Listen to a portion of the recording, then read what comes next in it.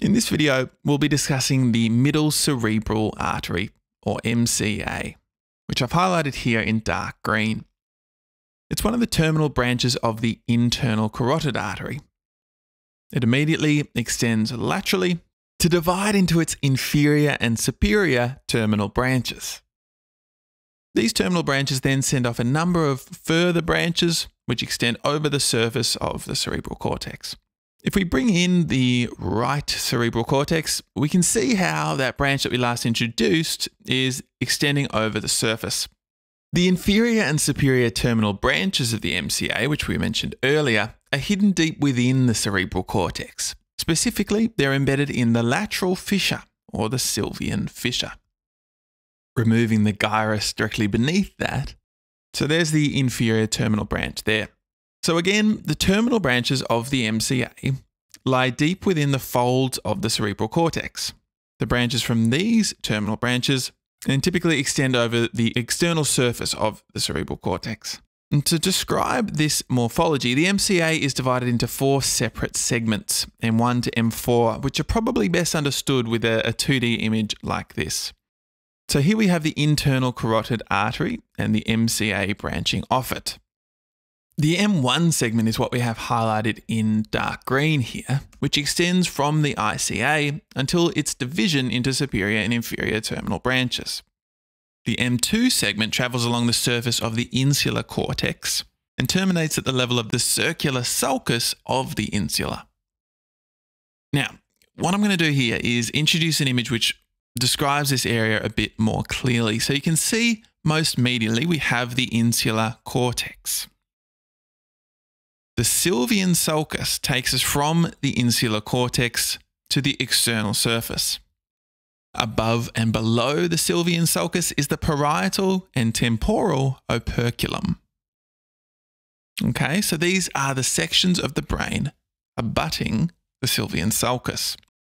The M3 segment is the part of the MCA which travels over the parietal and the temporal operculum. Then the M4 segments extend across the external surface of the cerebral cortex. So this branch, which we looked at earlier, is one of the M4 segments.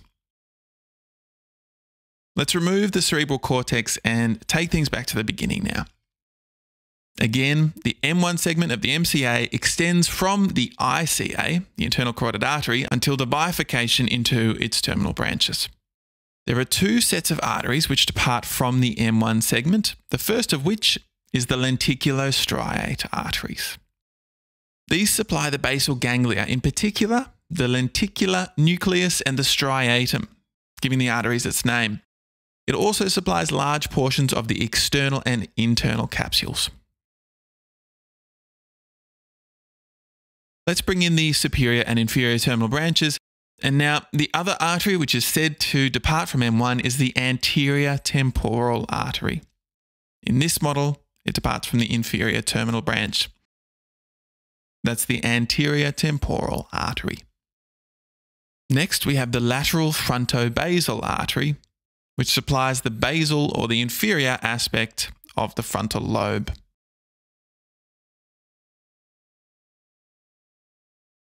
We then have a number of arteries named for the sulcus in which they run. The first is the artery of the prefrontal sulcus. We then have the artery of the precentral sulcus.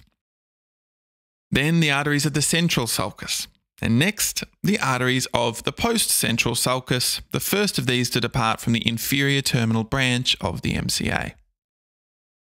The precentral gyrus contains the primary motor cortex, and this is supplied by the artery of the precentral sulcus. The postcentral gyrus contains the primary somatosensory cortex and is supplied by the artery of the postcentral sulcus. We then have the parietal branches, which supply the parietal lobe, and then the angular artery, which traverses the angular gyrus and contributes to the supply of the parietal lobe as well as the occipital lobe. We then have the middle and posterior temporal branches, which supply the temporal lobe, and we finish with this temporo-occipital branch most posteriorly. If we bring back in the cerebral cortex now, all of these branches which we discussed are M4 segments of the MCA, meaning they traverse the external surface of the cerebral cortex. And you recall that the M2 and M3 segments are closely related to the insular cortex, which are brought in here just to, to demonstrate that relationship. Now, before we wrap up, let's discuss some anatomical variants of the MCA. In around 80% of the population, the MCA bifurcates into inferior and superior terminal branches, as we have here. The remaining 20% are made up of cases where the MCA trifurcates into superior, middle, and inferior divisions. And then we have division into multiple smaller branches as well. Occasionally, in addition, we have an accessory MCA which supplies the orbitofrontal part of the brain. And we'll leave it there for now. Thank you so much for watching. Hit subscribe if you like this video, and we'll see you next time.